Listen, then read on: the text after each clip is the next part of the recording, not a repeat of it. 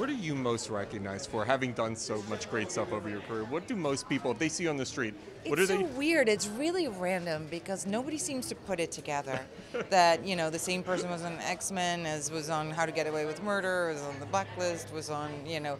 Then people forget certain things, and and then I've done a lot of independent films too. So it's just nobody ever knows all of it. And I think if there was a table with different people sitting, one would maybe recognize me from X Men, the other one from Goldeneye, and they go, no, that's not the same person.